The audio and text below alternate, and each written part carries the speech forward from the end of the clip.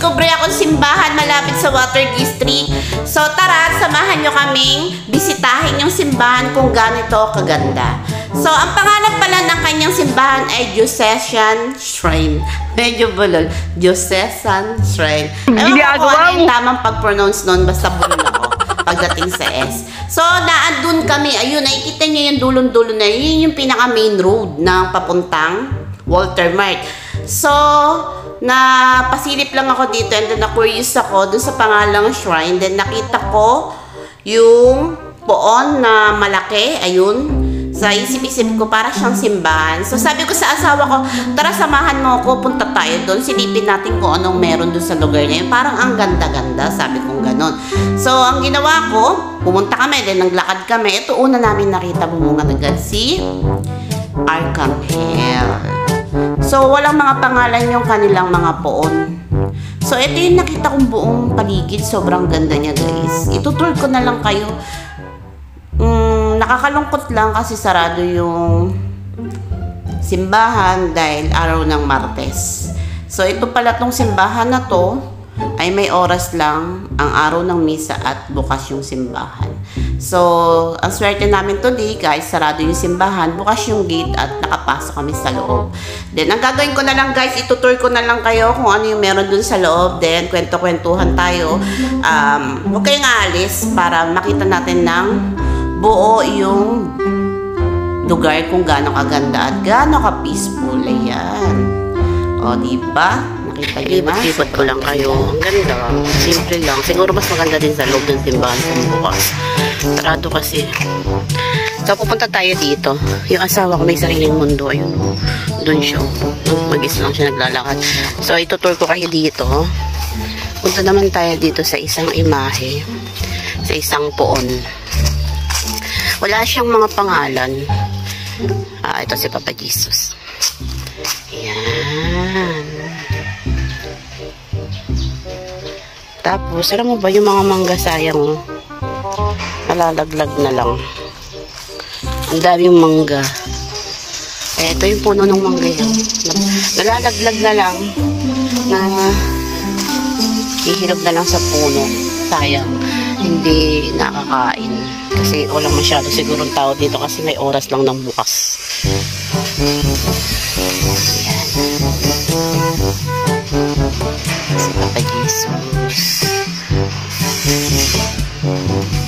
Doon naman tayo sa kabila.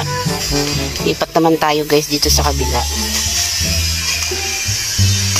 Sayang yung mga mangga, no? Ang dami. Ayan. Nahinog na lang sa daanan. Nahinog na lang pala sa ano. Sa lupa dahil nalaglag. Ayan, ang dami, dami. As in, ang dami. Ayan. Sayang. Ayan. Ito. Sayang, di ba? Ah. Sayang. Ayun po, ang dami pang, ang dami pang, ano dun, no? Ito, manggang kalabaw yan. Ito, Indian mango to. Itong mga nalaglag, Indian mango. Ito, Indian mango to. Ito, kalalaglag lang. Sariwag-sariwag pa. Tsaka to. Hinog na sa puno. Ito, malaking to. Kalabaw yata to. Oo, kalabaw. Ayan. Kalabaw siya. Oo nga, kalabaw. Ayun yung may nalaglag. May nalaglag. Ayun. Ayan. Nalaglag siya. Kalabaw ba yan? Ito may kalabaw. Oo, kalabaw. Oo, kalabaw guys. Kalabaw. Kasi may manggang parang ano. May mangga kasi na parang... Amoy natin. Oo, kalabaw siya. Ang sarap. May mangga kasi guys na... Ano may apple mango. Hindi ko type kasi lasa nun. Pero ito, ang bango. Tsaka ang sarap. Yung sayang. Daglag. Kung buo lang yan, kukunin ko yun kahit, kahit ganyan. Mm. Kaso eh, matagal siguro nalaglag yun dyan. Sayang, no? Oh. Marami pa siyang bunga. Hindi lang makita dito sa cellphone ko kasi maaraw. Kasi ito yung asawa ko. Ayan. Siguro ito, itong part na to, lagi siyang kinukuhaan ng bunga. Kasi kukunti na lang yung laman niya. Ay, kukunti na lang pala yung bunga niya. Pero walang masyadong laglag dito sa sa damuhan. Unlike dun sa ah, unlike dun sa Indian mango tree, na halos makikita mo yung damuhan. Eh, punong-puno ng mangga.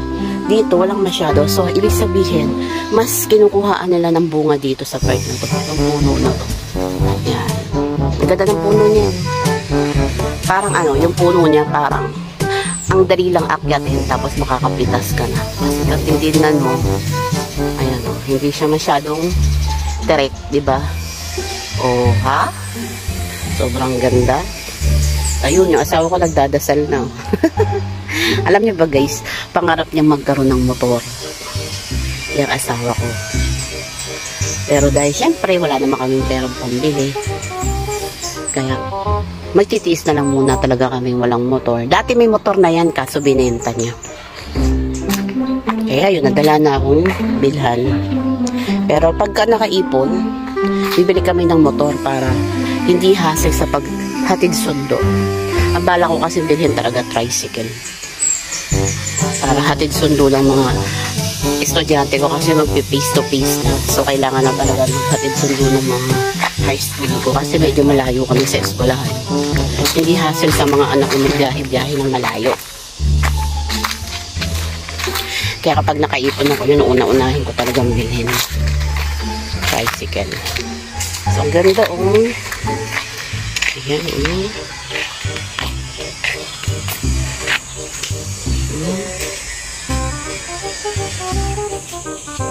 Ganda, di ba?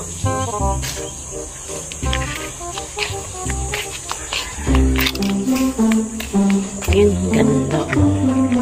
Ikot tayo, ikot. So, ililibot ko na lang kayo, guys. Dito sa loob ng shrine.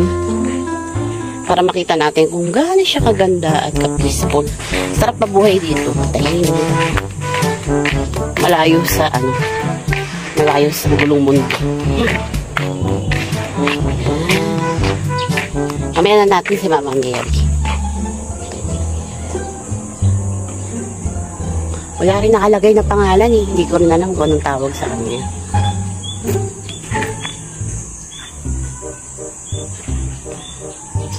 Diba? Mamaya dun tayo sa simbahan. Pero sarado yun. Yung asawa ko. Naglakad-lakad lang kami. Alam mo bang naputulang kami ng tubig. Naghihintay kami ng tubig. Dahil dito sa Kalapandayan guys, ang tubig ay alauna ng madaling araw hanggang alas 5 lang na madaling araw lumalabas ang tubig. So alas 2 na na madaling araw wala pa kaming tubig. Hindi naman namin expected na mapuputulan kami kasi nga wala naman akong utang.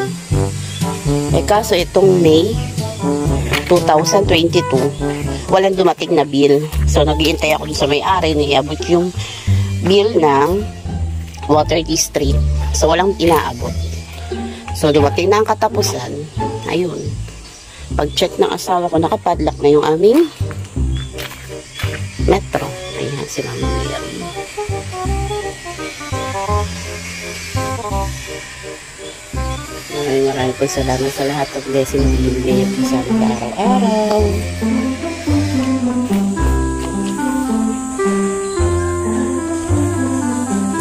Ganda.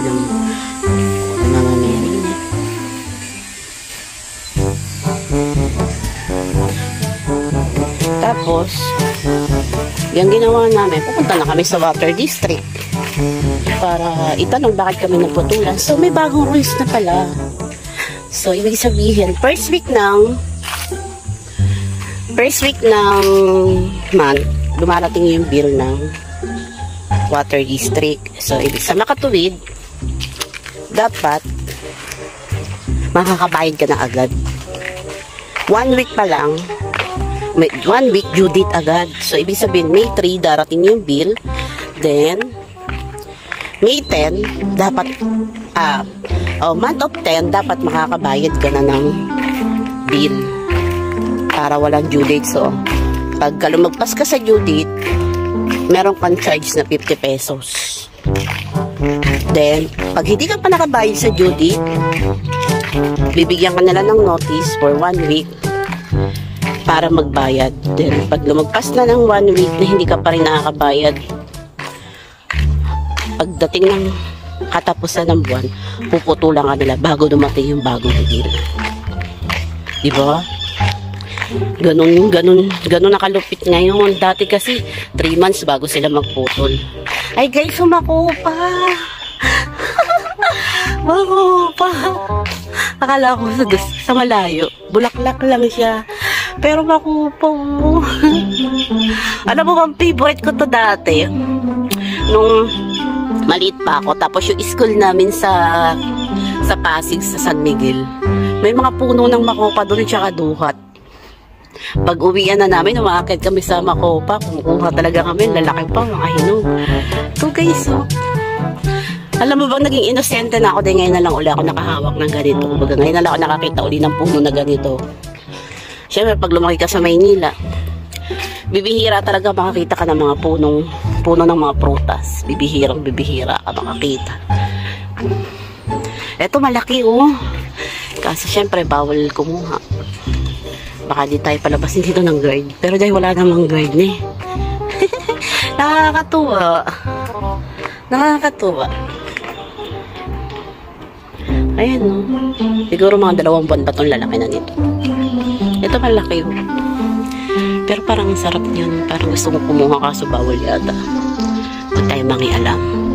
Mag-vlog lang daw tayo dito kasi baka masita tayo dito. Di tayo makabalik. Kaya kumbaga, ibablog lang natin. Diba? Yan. Ah, ito pala yung simbahan, guys. Silipin natin kasi bukas yung bintana. Okay, close yung door. So, ibig sabihin, hindi ka pwedeng pumasok. So, bukas yung bintana, pwede tayong sumilip. So, ito pala yung loob ng simbahan. Pasok natin yung ating cellphone sa loob. Maganda yung simbahan niya, simple lang. Maliit lang. Ayan. Maliit lang siya. Pero maganda. Ne. Mm, maganda. Maganda pala dito magsimba. Yan. Oh, mag-pray na kayo kay Papa Jesus. Yung maraming problema dyan. Kapag nagdadasal tayo, tapos humihingi tayo ng tawad, gumagaan yung ating paramdam, di ba? Kaya ganyan lang ang gawin ninyo. Ako, pag may problema ako, wala may ibang tumutulong sa akin, sarili ko lang, tsaka si Papa Jesus. Yan. Diba? So, babalik na tayo dito. Ayan. Ay, yung asawa ko. Ay, sarili ang magtutun sa dulo. Oo po, napagod maglakad. Ako naman dito nagtutour. O, diba? Ayan. Subic, Zambales, Philippines. Ano? Carmelite Monastery of the Holy Spirit.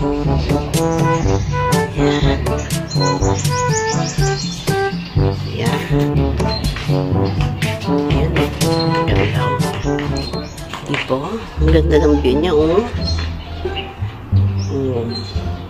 Maliit lang siya, guys. Pero panalo yung lugar. Ang ganda. Di ko naman, di ko naman to alam eh. Nakita ko lang. Meron palang simbahan dito sa Manggahan. Manggahan ba to? Kasi malapit na to sa Walter Mart. Hindi ko alam kung ano exact location niya.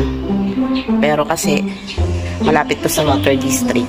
Nilakad lang namin sa konti. Siguro mga 5 minutes yung layo nung nilakad namin.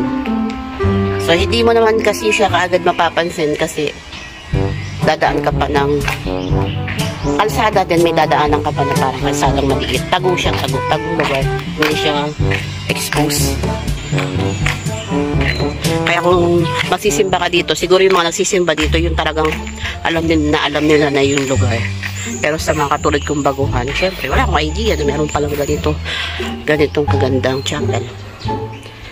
Diba? Ang ganda.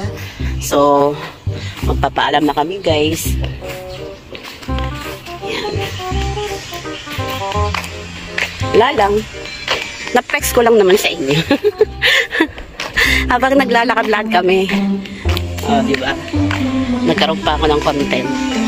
Nagkaroon ka rin. Nagkaroon din kayo. Papanoorin. Na maganda ba sa mata? Di ba? Ganun na rin. Minsan dadalhin ko yung mga anak ko dito pag nagsisimba kami. Meron na ako simbahan na ipapa kita sa kanila. Kasi nagsisimba lang kami sa Barreto. Yung simbahan doon. Doon kami nagsisimba ng mga anak ko. So, dahil malapit na ka na. So, dito na kami sa Kalapandayan nakatira. So, ayun, nag-wish yung asawa ko. oh, nag-wish yung asawa ko. Dadasal siya.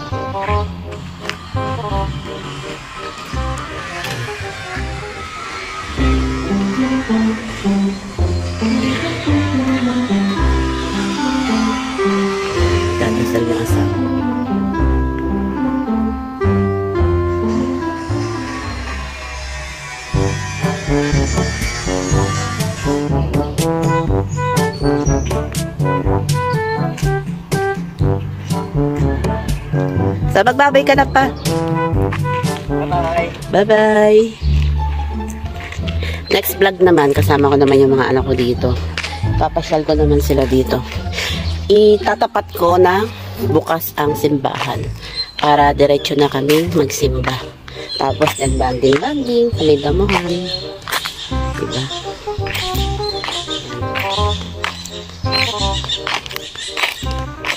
Ang peaceful, maririnig mo yung mga huni lang ng ibot. Dahil syempre medyo malayo sa kalsada ng konti. Ganda, di ba? So guys, thank you for watching guys. Um, God bless sa inyong lahat. Uh, pagpalain tayo ng buong may kapal. Sa lahat ng problema natin, sana malunasan ito. Uh, thank you Lord sa lahat ng blessing na tatanggap namin. Sana po tumagal pa ng matagal na matagal ang channel ko. Dahil sa channel ko lang po ako umaasa ng pang-araw-araw namin pagkain. Dahil parehas po kami walang trabaho ng asawa ko. So, thank you YouTube. Thank you Google AdSense. At naging instrumento kayo sa amin may hirap. Nabigyan nyo kami ng pagkakataon. Mabuhay uli sa pamamagitan ng kinikita at sahod namin sa YouTube, sa Google AdSense ay nasusuportahan namin ng pang-araw-araw ng pamilya ko. Thank you. Bye-bye sa inyong lahat. Maraming maraming salamat. God bless po. Sa lahat ng may mga problema sa buhay, may mga pinagdaraanan, huwag na huwag kayong mawawala ng pag-asa. Andyan si Lord, lagi niyong tatandaan. Never kayo bibiguin niya. Sabi nga nila, si Lord, maaalala lang natin kapag may problema tayo. Kaya sana, hindi naman lagi may problema tayo, saka lang natin sila maaalala. Kahit wala tayong problema, bigyan natin sila ng pansin. Lagi tayo magdasal sa araw-araw sa ating kaligtasan. Thank you, bye-bye! Love, love, guys!